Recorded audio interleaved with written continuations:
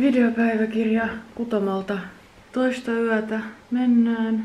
Ei ole ihan vielä valmis, mutta, mutta melkein valmis siihen nähden, kuinka paljon on tehty työtä ja kuinka vähän on enää jäljellä. Ihan kiva saada kyllä tämä vatta valmiiksi, koska koska tää tuntui jotenkin tosi huippuidealle. Sitten kun mä sen idean sain itselleni ja sitten mulla oli tää mahdollisuus tehdä tää, niin tavallaan tää on ihan kiva, että mä nyt sit sain tehtyä tällaisen maton.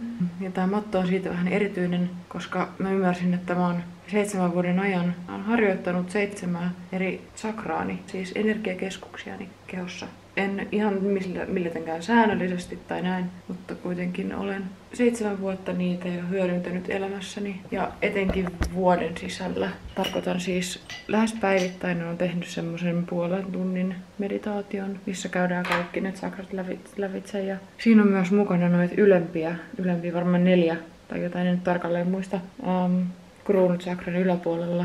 Niin niistä kuvastamaan mä tein nyt tähän mattoa yhden kerroksen, tai teen sitten yhden kerroksen Kyllä jokainen kerros on suunnilleen tämmönen. Onko se nyt vaaksamitta vai miksi se sanotaan. Ja sitten myös tota, kun seitsemän on, seitsemän on näitä niin perus, niin myös sitten tämä maa, maa chakra, miksi se sanotaan Earth Star, mutta onko se sitten joku maatähti chakra vai miksi se sanotaan? Tavallaan se, joka ankkuroi tämän ihmiskehon tänne tai mun energiakehon tähän maahan. Niin mä oon nyt saanut tehtyä, ihan voin näyttää tässä videolla, kun tää ei nyt kuitenkaan tuu mihinkä. Niin on tehnyt taas se Earth Star kerros. Sitten tulee juurikerros, mutta se on tuolla piilos nyt vähän sen. Jos näet, niin se on tuolla.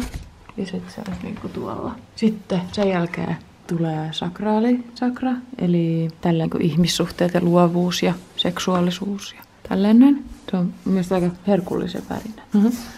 Sitten sakralin jälkeen tulee solar plexus chakra. Täällä on kynsikin oikein sävysävyä.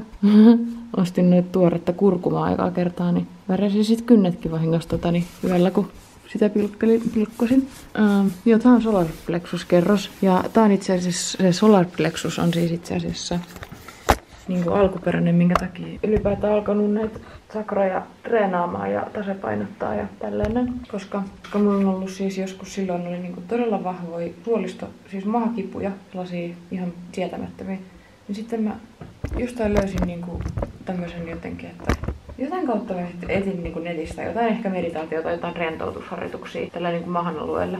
Ja sitten alkoi auttamaan tosi paljon. Mä muistan yksi tietty meditaatio oli semmoinen solar plexus meditaatio, mikä oikeasti, siis se ihan niinku transformed niinku sen mun kivun. Tää on tällaista siis liipaslaapaa, mutta siis tottahan se on. Työtähän sitä tehdään kuitenkin ihan siitä niinku vieläkin, että, että niitä pitää niinku tasapainottaa, vähän kuunnella, miten niillä menee ja tälleen. Se on aika kuitenkin suht simppeliä sitten, kun tavallaan ottaa asiakseen niinku huomioida sen, huomioida ne energiakehon. Sitten löytyy sydänsakran kerros. Ja mä, tota, kun mä näin tämän, just tämän tällaisen vaaleanpunaisen. Mä tajusin, että hitsi, että tämä on tosi kiva siihen sydämeen, koska sydämen sakran, sydänsakran värithän on siis vihreä ja vaaleanpunainen. Tässä on niin vähän pari eri sävyä vihreätä. Tämä tällainen tummempi, mun, se jotenkin puhuttelee mua niin siinä mun, mun metsä, metsän läheisyydessä, koska useimmiten metsät on tosi tummia metsiä, tällaisia tummanvihreitä, kun havupuita ja näin. Mm. No sitten tämä sama tämmöinen niin vihreän, turko, vihreän vaalean, turko, voiko sanoa turkoosiksi, en tiedä, mutta siis jatkuu tänne kurkkutsakraa.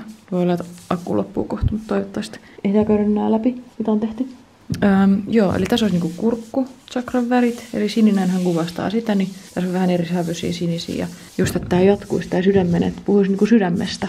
Se jotenkin mun mielestä tähän tuli kivasti. Sitten kurkkuchakrasta päästään kolmannen sillan väreihin.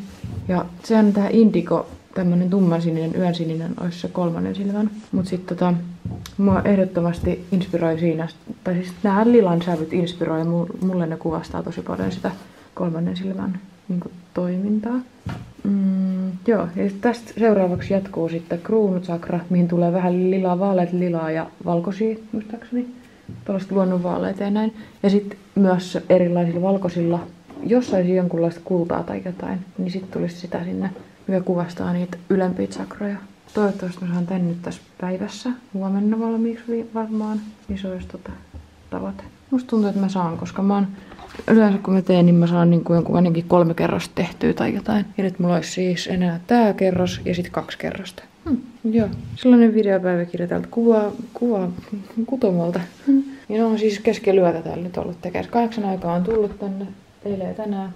No nyt mä oon aika myöhään, että kello on kohti jo niin puoli yksi tai on yksi kohti jo tällainen. Tosiaan, mulla on täällä ykköstsemppariin ollut Jari Sillanpää ja Leif Lindeman. Et aika, no ei ykköstsemppariin, pakko sanoa kiitokset kyllä äitille, joka mut tänne yllytti. Ja sitten tietysti tolle, onko se nyt Aija vai Aila? Ai, Aila ehkä. Aija, Aila. Ää, niin tällainen rouva, joka mua on sitten myös opastanut täällä. Ja tekee myöskin, itse on kutonut sitten täällä samalla. Iltateet. Hyvä, että saa keitettyä veden tässä, niin ei tarvi sit kolistella heti kun menee kotiin.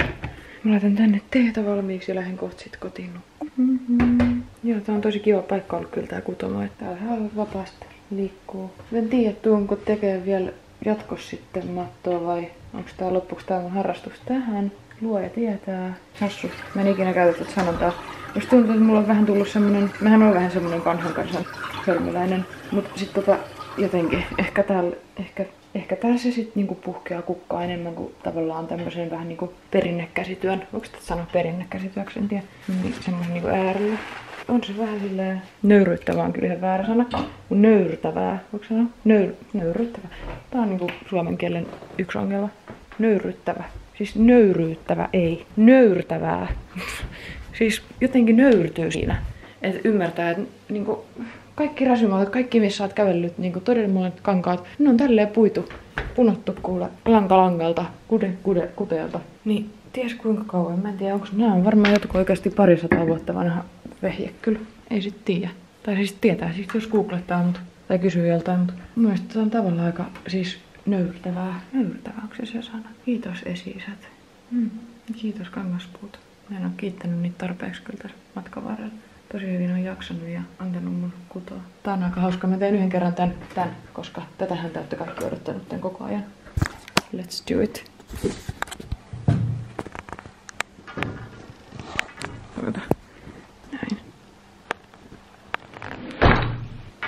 Eli noin se matto sitten vaan sinne tehdään.